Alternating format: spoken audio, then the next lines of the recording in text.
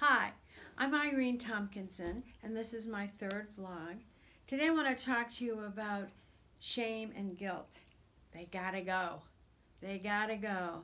They sit on top of all your value, all your worth. They sit on top of your essence. Basically, they sit on top of your soul and they convince you that you are not the wonderful light that you are.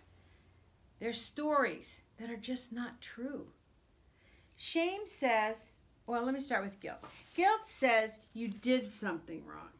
Okay, and that's understandable. Living in this human experience, if you make a promise to somebody, you're going to show up and you don't, you blow them off, well, you should feel uncomfortable about that. We need to be our word. We need to be as good as our word.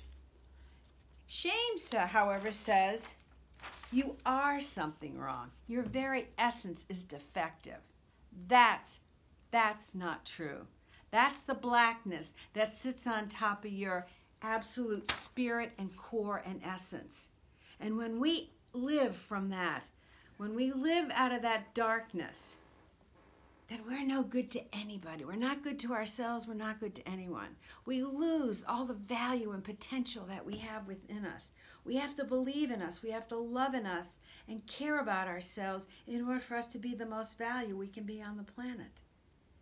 That is my passion for you. It's my passion for me. I want every single person on this planet living from the core that they are, which is value, which is light.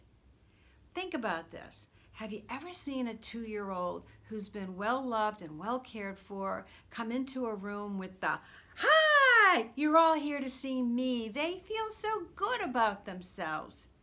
They're not hiding out, they're being all of their absolute wonderment. But when a child has been hurt, ignored, abused, neglected, and the neglect can be just dismissed, not necessarily beaten or anything. But when a child has been brought up that way without the three th most important things that a kid needs time, attention, and direction quality time, quality attention, quality direction. When a child's not been gifted with those and brought up with that, then they no longer understand their value. They feel valueless. And then they act out of that place. They grow up acting out of that place. They become adults who act out of that place. Women in our culture, and this is a big generalization, women in our culture have been made to believe they're supposed to look like the front page of a magazine.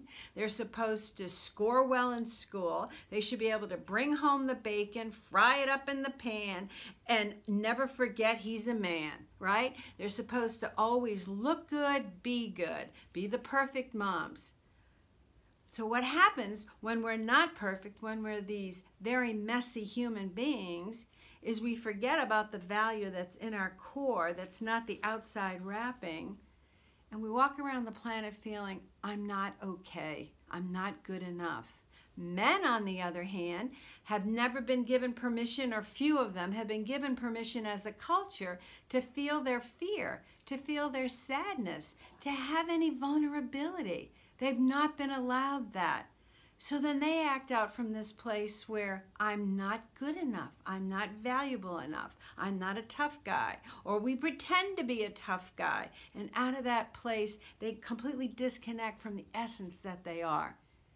The essence that they are is the value they were born with, just like women born with when we first got here on the planet until we started to believe all of this darkness that sits on our value. It sits on our souls. Anger is always on top of fear or sadness and hurt. Men have not been given permission to do the fear or the sadness and hurt. Women have not been given permission to do the anger. We've got a word for an angry woman. You got it, bitch. We've got a word for a, a fearful or sad man. Wuss. That all sits on top of our worth and value. So we act out in a way that we're trying to please the culture around us rather than to own who we really are.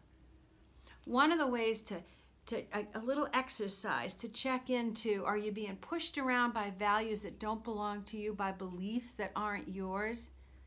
Because they've been so ingrained in you, you don't even recognize them. Sit down with a piece of unlined paper and write a list I should.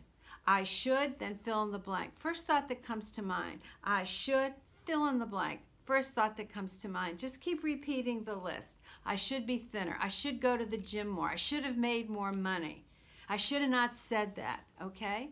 Some of the things that appear on the list might be I should have been where I told them I would be.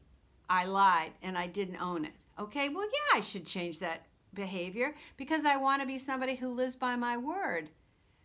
But I should be thinner. I should be smarter. I should be different than I am. No, I don't want to live by those rules. I want to find out who this is. I want to know the essence in me. I want to know what rules I believe in because all the shoulds, the guilt, and the shame come from a belief that you've broken some rule. So you have to ask yourself is it my rule? Do I really believe in that? Do I want to follow that? Just be clear about what your values are and what you think belong to, belongs to society that you've kind of absorbed. If you got a should going on in your head, you're in a toxic conversation with yourself.